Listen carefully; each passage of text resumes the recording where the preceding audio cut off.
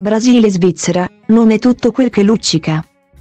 Segui l'algoritmo del Corriere dello Sport su Telegram. Prima dell'inizio dei mondiali di calcio in Qatar se vi avessero detto che il gol di Brasile-Svizzera era a 2. 13 cosa avreste risposto?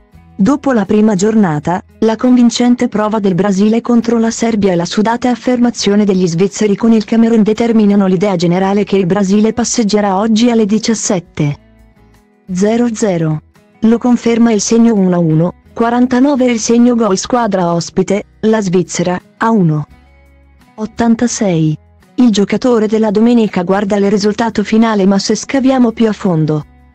Quanti possono negare l'affermazione che nel primo tempo la Serbia aveva imbrigliato bene il Brasile a centrocampo?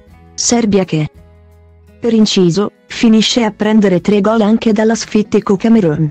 Per quanto l'Italia abbia buttato alle ortiche la qualificazione con due rigori decisivi calciati male da Giorgino. La Svizzera è comunque una nazionale solida e di buona tecnica che ha lasciato a casa i campioni d'Europa. Siamo così sicuri che il Brasile, per di più senza Neymar, oggi pomeriggio farà un'esibizione senza rischi.